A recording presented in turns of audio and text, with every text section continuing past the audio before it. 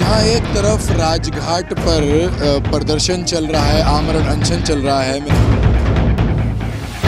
मैं आपको एक ऐसी शख्सियत से मिलवाने जा रहा हूँ। दो साल पहले इन्होंने अडॉप्ट की थी, उनका सारा खर्चा खुद उठा रहे हैं। इंटरनेशनल हॉकी प्लेयर हैं भारत की टीम से खेलते हैं ट्वेंटी फाइव जवान शहीद हुए थे उनकी अठारह बेटियों को उन्होंने स्पॉन्सर किया था एजुकेशन स्पॉन्सर किया था। गेम मेरा मैंने छोड़ दिया है इसके बाद मुझे कुछ ऐसा करना चाहिए कि जो मैं समाज के लिए कुछ कर सकूँ। जहाँ एक तरफ़ राजघाट पर प्रदर्शन चल रहा है आमरण अनशन चल रहा है मेरे पीछे आप देख सकते हैं सारी महिलाएँ जमा हैं। न्याय के लिए गुहार लगा रही हैं कि बलात्कार के खिलाफ जो कदम सरकार उठाए, वो सख्त कदम हो और उन्हें सज़ा दी जाए। वहीं दूसरी तरफ़, मैं आपको एक ऐसी शख्सियत से मिलवाने जा रहा हूँ, जिन्होंने खेल के ही मैदान में नहीं, बल्कि बेटी बचाओ, बेटी पढ़ाओ आंदोलन को लेकर इन्होंने एक बहुत अच्छी शुरुआत की है। 24 बेटियाँ दो साल पहले इन्होंने अडॉप्ट की थी, उनका सारा खर्चा खुद उठा रहे हैं।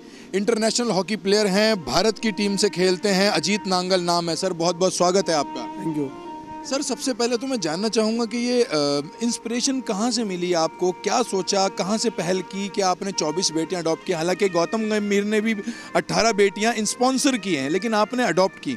शुरुआत से कुछ बताएँ ज़रा हमें। देखिए मैं ये बात है 2017 की सुकवा एक अटैक हुआ था सुकवा अटैक तो वहाँ पे गौतम गंभीर ने जो हमारे जवान शहीद हुए थे ट्वेंटी फाइव जवान शहीद हुए थे, उनकी अठारह बेटियों को उन्होंने स्पॉन्सर किया था एजुकेशन स्पॉन्सर किया था। तो मुझे आइडिया आया कि हम और भी स्पोर्ट्स पर्सन को आगे आना चाहिए। और मेरा ये मानना है कि आज़ादी के बाद दुनिया में, हिंदुस्तान में, अगर एक चीज़ जो रह गई है, जिस पे कभी किसी सरकार ने ध्यान नहीं दिया, वो है गरीब और ज़रूरतमंद लड़कियाँ। तो मुझे लगा कि मैं किसान परिवार से हूँ। तो मेरे पिताजी से मैंने कहा कि मैंने अब गेम मेरा, मैंने गेम मेरा मैंने छोड़ दिया है। इसके बाद मुझे कुछ ऐसा करना चाहिए कि जो मैं समाज के लिए कुछ कर सकूँ। तो मेरे फादर साहब ने बताया कि अगर बेटा, अगर गरीब लड़कियों के लिए कुछ करोगे तो जैसे हमारे समाज में भी बेटियों को ज़्यादा तवज्जो दी जाती है। तो बोले, आप सारे काम ये मंदिर, मस्जिद ये छोड़ के आप गरीब बेटियों को गोद लो और उनके लिए कुछ करो। तो कैसे पूरा प्रोसीजर कैसे रहा? आप कहाँ गए? कहाँ से? मतलब सारी बच्चियाँ आप हरियाणा से खुद हैं तो सारी बच्चियाँ हरियाणा की हैं और अगर हरियाणा की हैं तो किन किन इलाकों से आपने किया? सारा प्रोसीजर कैसा रहा? देखिए मैं मैं सबसे पहले एक गाँव के स्कूल में गया। मेरा पास में गाँव है उधर गाँव का गवर्नमेंट सीनियर सेकेंडरी स्कूल था। तो मैं प्रिंसिपल मैम से मैं मिला। मैंने कहा कि जो इस स्कूल की और आसपास की जो भी सबसे ज़रूरतमंद और गरीब बेटी है मुझे वो 21 गर्ल्स अडॉप्ट करनी।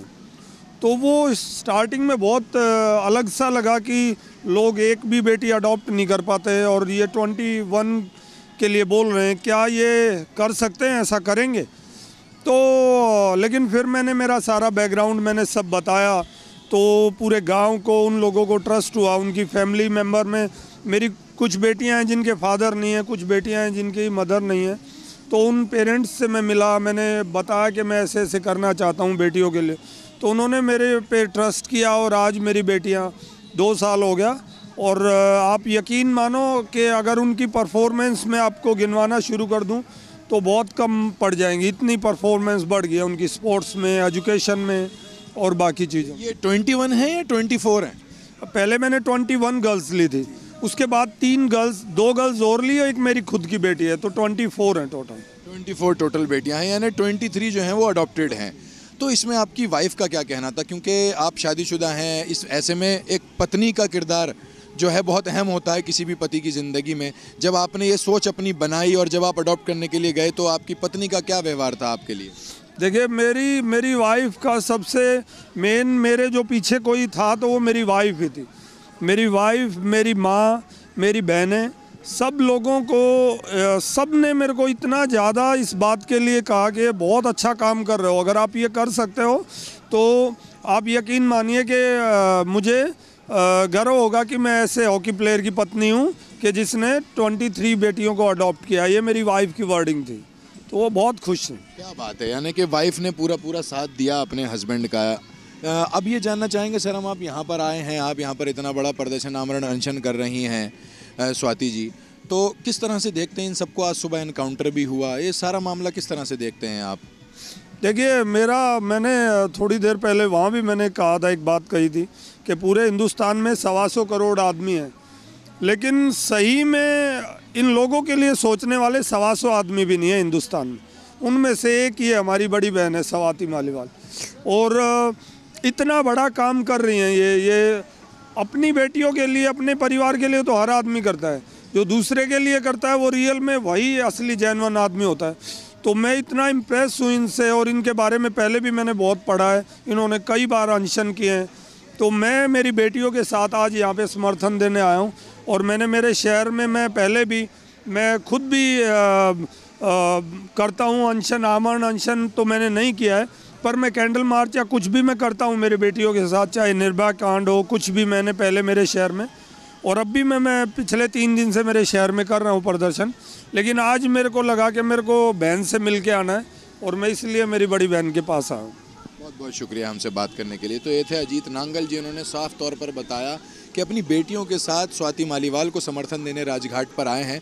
और ये एक बहुत बड़ी सीख भी है कि खिलाड़ी ने 24 बच्चियों को अडॉप्ट कर रखा है और उनका खर्चा पूरा का पूरा पढ़ाई से, लिखाई से लेकर रहन सहन का सारा का सारा वो उठा रहे हैं। तो ये एक बहुत बड़ी पहल देखने को मिलती है। कैमरा पर्सन मुकुल के साथ जुहेब अहमद, सत्य खबर, दिल्ली।